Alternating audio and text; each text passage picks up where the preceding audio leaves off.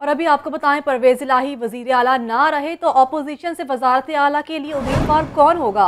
आसिफ अली जरदारी की चौधरी शजात हुसैन से अहम मुलाकात। अपोजिशन की जानब से वजारत आला पीपल्स पार्टी को दिए जाने का इम्कान। इतफाक राय की सूरत में स्पीकर और डिप्टी स्पीकर के उम्मीदवार नून लीग से होंगे। आसिफ अली जरदारी ने जोड़ तोड़ के लिए सियासी शख्सियात से रबते भी तेज कर दिए। इस पर बात कर लेते हैं मोहम्मद यासिन से। यासिन, बताए किस बारे में?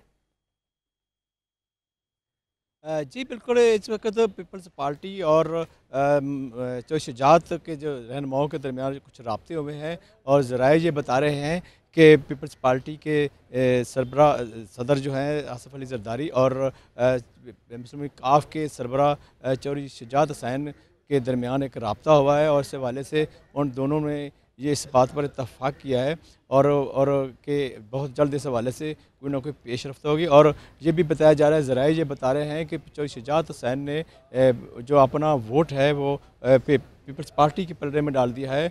यूँ जो वजारत अला पंजाब है पीपल्स पार्टी को मिलने का इम्कान है। अगर अगर इस फार्मूले पर अमल हो जाता है तो स्पीकर और डिप्टी स्पीकर नून लीग का होगा। और ज़राए के मुताबिक जो सफ़र जरदारी पहले से लाहौर में मौजूद हैं, वो मज़ीद सरगर्म हो गए हैं। उन्होंने जोड़ तोड़ का सिलसिला भी शुरू कर दिया और रबते तेज़ कर दिए हैं। और अगर इस हवाले से कोई पेश रफ्त मज़ीद हुई और ये इसको इसको फैसले को हतमी शक्ल दे दी गई तो ज़राए का कहना है कि पीपल्स पार्टी के तीन नाम जो हैं, वो ख़ास तौर पर अली हैदर गलानी उस्मान महमूद, असर मुर्तज़ा के जो नाम हैं, वो ज़र गौर हैं। अगर इनमें से कोई ताहम जो हतमी जो फ़ैसला है, और नवाज़ शरीफ शजात हुसैन और आसफ रजीदारी करेंगे कि इनमें से कौन हो सकता है।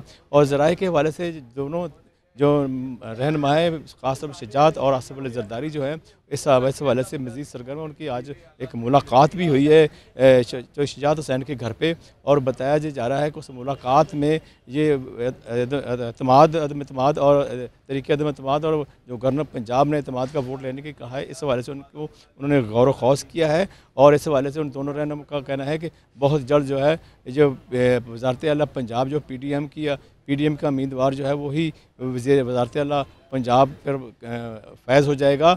और ये कहा जा रहा है कि इस हवाले से नासर सैन शाह और अहमद मलिक अहमद ने इस हवाले से ख़ास तौर पर दोनों को अहम जो ब्रीफिंग भी दी है हम मोर पर। और इस मौका पर जो है जो वफाकी वज़ीर सालक हुसैन और तारक बशीर चीमा भी मौजूद थे। जी।